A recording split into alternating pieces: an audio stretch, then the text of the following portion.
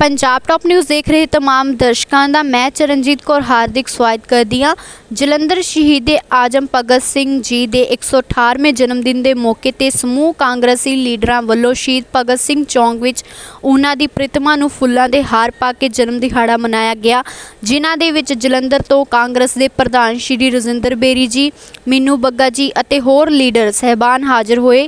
ਉਹਨਾਂ ਵੱਲੋਂ ਪ੍ਰਤਿਮਾ ਨੂੰ ਹਾਰ ਪਾ ਕੇ ਸ਼ਹੀਦ ਆਜਮ ਭਗਤ ਸਿੰਘ ਜੀ ਦਾ ਜਨਮ ਦਿਨ ਮਨਾਇਆ ਗਿਆ।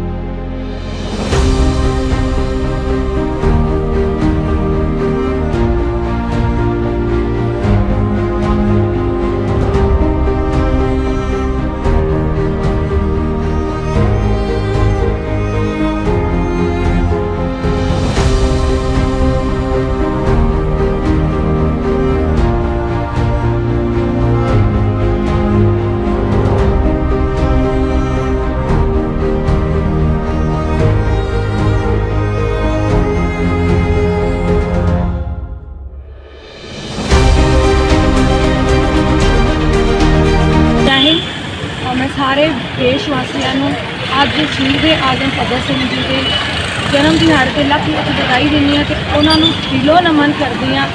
ਐਸੇ ਯੋਧਾ ਵੀਰ ਮੇਰਾ ਭਰਾ ਜਿਹੜਾ ਸ਼ਹੀਦ ਹੋ ਗਿਆ ਸਾਡੇ ਵਾਸਤੇ, ਅੱਜ ਉਹਨਾਂ ਦਾ ਜਨਮ ਦਿਹਾੜਾ 117ਵਾਂ ਪੂਰਾ ਹੋਇਆ 118ਵਾਂ ਲੱਗਿਆ।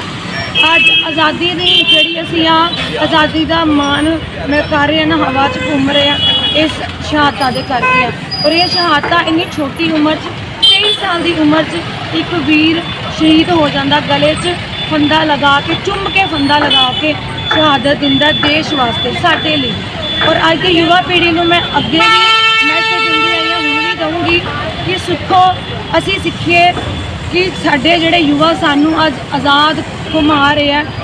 ਜਿਨ੍ਹਾਂ ਨੇ ਫਾਂਸੀ ਦਾ ਫੰਦਾ ਲਗਾ ਲਿਆ, ਆਪਣੇ ਮਾਂ ਦੀ ਪਰਵਾਹ ਨਹੀਂ ਕੀਤੀ, ਆਪਣੇ ਪਰਿਵਾਰ ਦੀ ਪਰਵਾਹ ਨਹੀਂ ਕੀਤੀ, ਆਪਣੀ ਜਵਾਨੀ ਦੇਸ਼ ਦੀ ਕੁਰਬਾਨ ਕਰ ਦਿੱਤੀ ਉਸ ਉਸ ਵੀਰ ਵਾਸਤੇ ਮੈਂ ਸਾਰਿਆਂ ਨੂੰ ਹੱਥ ਜੋੜ ਕੇ ਬੇਨਤੀ ਕਰਦੀ ਹਾਂ ਕਿ ਪਲੀਜ਼ ਆਪਾਂ ਆਪਣੇ ਆਪ ਨੂੰ ਨਸ਼ਿਆਂ ਤੋਂ ਦੂਰ ਰੱਖੀਏ, ਆਪਣਾ ਜਿਹੜਾ ਪੰਜਾਬ ਨਸ਼ਾ ਮੁਕਤ ਬਣਾਈਏ। ਆਪਾਂ ਸਰਕਾਰਾਂ ਸਰਕਾਰਾਂ ਦਾ ਫੇਲ ਹੈ। ਸਾਰੀਆਂ ਸਰਕਾਰਾਂ ਫੇਲ ਹੋਣਗੀਆਂ ਇਸ ਚੀਜ਼ ਤੇ ਸਰਕਾਰਾਂ ਅੱਜ ਦੀ ਡੇਟ 'ਚ ਜੋ ਸਰਕਾਰਾਂ ਦਾ ਕੰਮ ਚੱਲ ਰਿਹਾ, ਸਰਕਾਰ ਤਾਂ ਫੇਲ ਹੈ। ਜਿਹੜੀਆਂ ਵੀ ਅੱਜ ਭਗਵੰਤ ਮਾਨ ਸਰਕਾਰ ਹੈ, ਚਾਹੇ ਮੋਦੀ ਸਰਕਾਰ ਹੈ।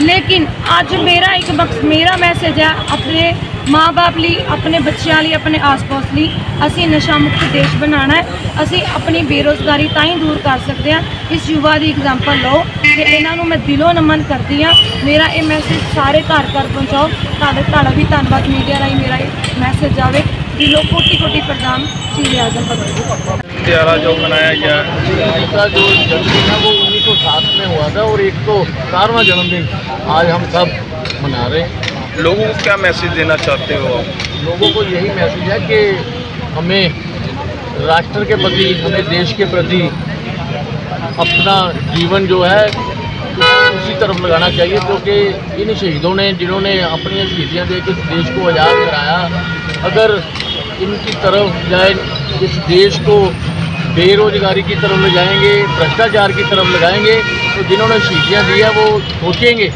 कि हमारी जो शहीदी है वो गलत गई लेकिन बात करें कि जन्म ग्यारह दिन वाले दिन ही भगत सिंह चौक साफ़ सफ़ाई किया जाता है। लेकिन उससे पहले कोई मैनेजमेंट कोई चौक को देख रहे हैं, नगर निगम के ऑफिसर कोई भी यहाँ पर चौक की साफ़ सफ़ाई नहीं होती है। ऐसा क्यों? ये आज़म सरदार भगत सिंह वाला चौक ही नहीं किसी चौक में चले जाए। Doctor B R Ambedkar ji का चौक देख लें, महात्मा गांधी जी का चौक देख लें, सरदार बयान सिंह जी वाला चौक देख लें। कहीं पर भी नगर निगम सफ़ाई नहीं करवाती है। और ये चाहिए नगर निगम के खास तौर पर को जिन्होंने शहीदियाँ दी हैं उनके चौक तो उनकी जो प्रतिमाएँ लगी हैं उनको तो साफ़ सफ़ाई रखें। सूरज ढलते ही अंधेरा छा जाता है सड़कों में लाइटें बंद है। इसको कैसे देखते हो? काफ़ी कम से कम एक महीने से ऊपर हो गया स्नैचिंग लुटेरे हौसले उनके बुलंद हो गए क्योंकि अंधेरों में लूट वगैरह बहुत ज़्यादा शुरू हो गई है अब। देखो आम आदमी पार्टी का राज है। इन्होंने कहा था कि हम बड़ा बदलाव लेके आए और ये बदलाव लेके ही आए हैं।